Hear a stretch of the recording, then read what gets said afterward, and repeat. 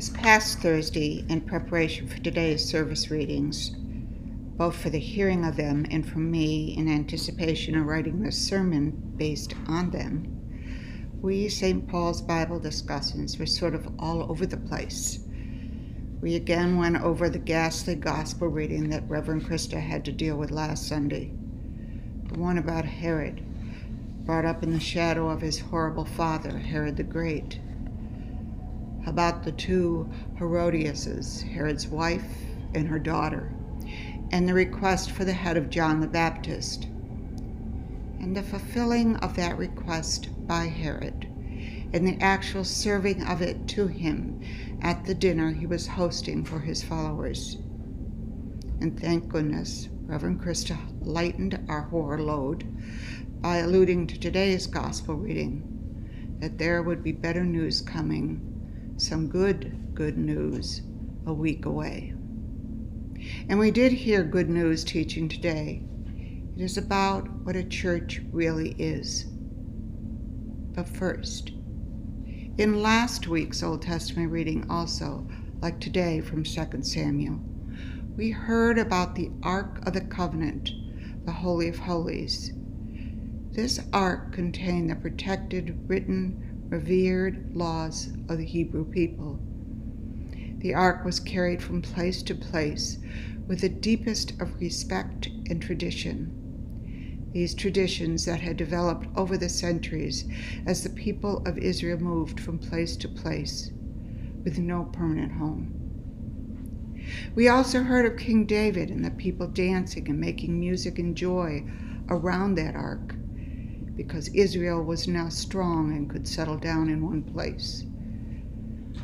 Under David, Israel was a people protected by God's providence in war, in victory, in famine, in bounty. So the ark was placed inside its tent in a place that was to become its permanent home, the city of David, the city that would become Jerusalem. In Israel's jubilant celebration, David did a most kingly and shepherdly thing. He did the most godly and gracious thing. He fed, he fed the multitude. He blessed the people and provided each man and woman with a cake of bread, a portion of meat, and a cake of raisin, dinner with dessert. In today's story from 2 Samuel, we hear of David wanting to provide the Ark of the Covenant, a better residence than a tent. Although I wonder if David's purpose was to give God's ark a better place to honor God, honor, honor God, or if his real purpose was to provide a better place to flaunt his own acquired power, spoils of war, his acquired earth, earthly wealth? We'll never know, of course. Nevertheless, it is very clear what God's wishes are. God doesn't need a temple. God has done just fine with a tent during all the years of the Hebrews' wandering. He had been situated right there among the people as they wandered, warred, grieved, and celebrated and grew. God was literally in them and with them all that time. The tent, not a temple, served quite nicely. God now makes it clear God's house was a house of people, David's lineage house that would be a safe place for God's people to grow and prosper under God's protection as it had been all along during their wandering.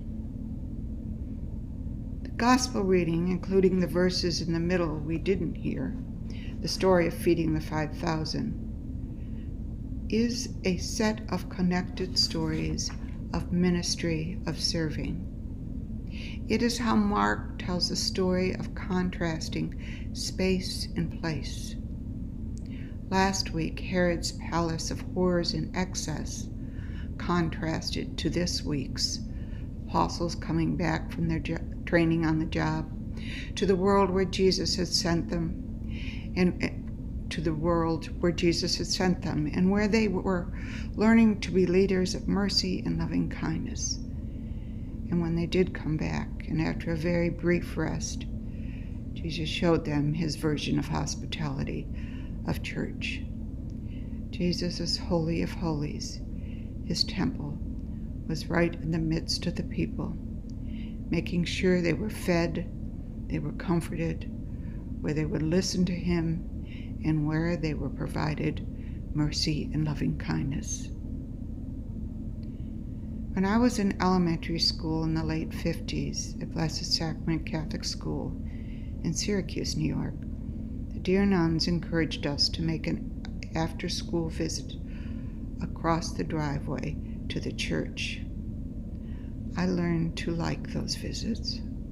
The church was lacking, however, the church was lacking in architectural interest. Its walls were at least three stories of straight up undecorated cement block. And until the parish was able to acquire some stained glass windows from a torn down church, the windows of Blessed Sacrament Church were just foggy glass.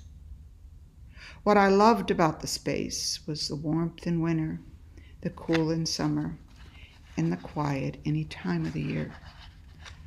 I loved telling myself the story of the Stations of the Cross as I traveled from station to station. I love the Infant of Prague doll that the altar gilt so dutifully outfitted with a different colored finery when the church year season changed. Yes, I loved all that. And I was in elementary school.